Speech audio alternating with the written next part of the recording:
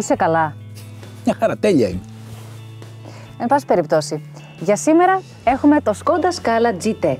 Η Skoda έχει πλέον πάρει πολύ αέρα και έχει καθιερώσει το φυσικό αέριο σε πάρα πολλά μοντέλα της. Τα λόγια πολλοί αμφισβήτησαν. Τα νούμερα ουδής. Δικό μου αυτό Θωμά. Ω, για πάμε. Διότι η Σκόντα μιλάει με νούμερα και σου λέει ότι για το σκάλα και για όλα τα οχήματα που χρησιμοποιούν φυσικό αέριο, το κόστος χρήσης συγκριτικά με τη βενζίνη είναι 50% μικρότερο, ενώ από το πετρέλαιο 30% μικρότερο. Έχει πει και κάτι ακόμα. Το ότι τα μοντέλα φυσικού αερίου και βενζίνης, όπως είναι η καλή ώρα το σκάλα, θα βγαίνουν, θα παράγονται δηλαδή για πάρα πολλά χρόνια. Καλύτερη απόδοση, μεγαλύτερη οικονομία στην τσέπη και λιγότερους ρήπους στο περιβάλλον.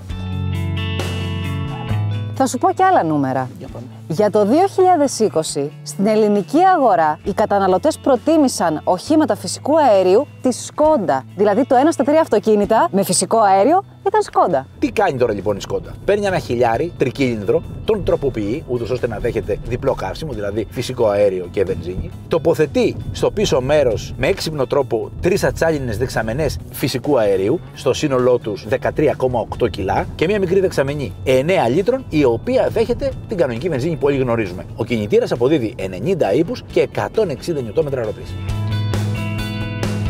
Ξεκινώντας κάποιος να οδηγήσει το Skoda Scala, κινείται με φυσικό αέριο. Μόνο αυτό κάνει ουσιαστικά. Μόλις καταλάβει το ίδιο ότι αδειάζουν οι δεξαμενές, χωρίς να μας ενοχλήσει, χωρίς να χρειαστεί να κάνουμε κάτι επιπλέον, γυρίζει στην δεξαμενή υγρού καυσίμου, συνεχίζει να καλύπτει τις αποστάσεις με βάση τις καταναλώσεις. Όταν κινούμαστε με φυσικό αέριο, η εργοστασιακή τιμή κατανάλωσης είναι 5,4 κιλά ανά 100 χιλιόμετρα και όταν κινούμαστε με βενζίνη 5,7 λίτρα ανά 100 χιλιόμετρα. Για τον οδηγό υπάρχει ενημέρωση αναλυτική. Δύο μετρητές. Πόσο φυσικό αέριο έχουμε ακόμα και πόση βενζίνη έχουμε.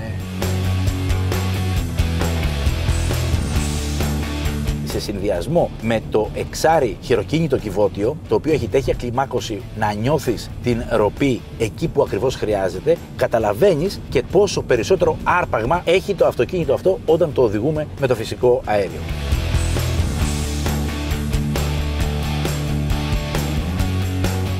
Είναι αυτό που όταν λες Σκόντα, ένα πράγμα, με, με, χωρίς να το σκεφτώ. Χώροι. Τα πορπαγκάζ των Σκόντα. Είναι χαοτικά μεγάλα.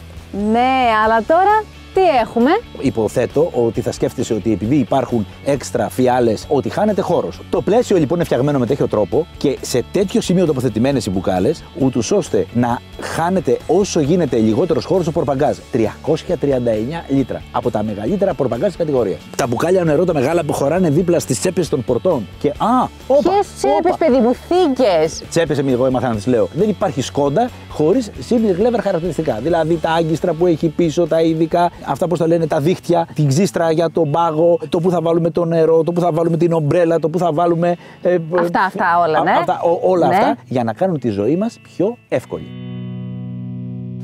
Έχουμε οθόνες που ανάλογα με την έκδοση κινούνται από 6,5 έως 9,2 inches. Είναι έγχρωμοι, είναι αφής. Όλα τα σύγχρονα συστήματα ενημέρωσης, ασφαλείας και υποστήριξης του οδηγού εδώ. Όσον αφορά την συμπεριφορά του αυτοκίνητου στον δρόμο, το τι γίνεται μέσα στην πόλη, αν συναντάμε εμπόδια ή όχι, adaptive cruise control και να τονίσω τρία assist. Λόγω ύψους, εγώ την assist την έχω μάθει στο μπάσκετ κτλ. Αλλά τέλος πάντων, lane assist, δεν αφήνει το αυτοκίνητο να φύγει από τη λωρίδα κυκλοφορίας. Park assist, βλέπει τον χώρο ούτως ώστε να μην ακουμπήσουμε κάτι ή μας ενημερώνει αν περνάει κάποιος. Και το side assist, δηλαδή εάν είμαστε εμείς αφηρημένοι ή έχουμε κα- από τις νεκρές γωνίες αδυναμία να δούμε ότι κάποιος μας πλευρίζει, μας ενημερώνει ότι κάτι συμβαίνει δίπλα να έχουμε την προσοχή μας αυξημένη.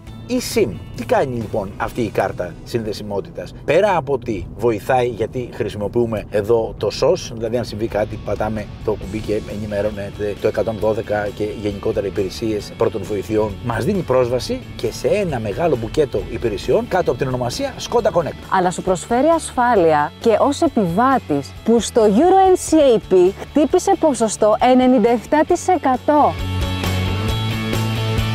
Καλή η αριθμή, αλλά δεν μπορώ να μην αναφέρω το ότι στο πίσω μέρος δεν έχουμε το κλασικό σήμα της Σκόντα. Όχι, για πρώτη φορά έχουμε ολογράφος το Σκόντα γραμμένο. Με αυτή την πινελιά φιλοδοξούσε η Σκόντα, αλλά και με την επιλογή του ονόματος να δείξει ότι στη μικρομεσαία κατηγορία τοποθετεί ένα μοντέλο για να την επαναπροσδιορίσει. Πήρε την λατινική, γιατί η ρίζα της είναι λατινική λέξη σκάλα και με την αλληγορική της σημασία έδειξε ότι πήγε ένα βήμα παραπάνω με το Σκόντα Σκάλα και ανέβηκε επίπεδο. Οι εκδόσεις του Σκόντα Σκάλα G-Tech, αυτό δηλαδή που κινείται με φυσικό αέριο, αρχίζουν από τις 17.500 ευρώ. Από αρχαιοτά των χρόνων είναι γνωστό ότι με σκάλα ανεβαίνει επίπεδο.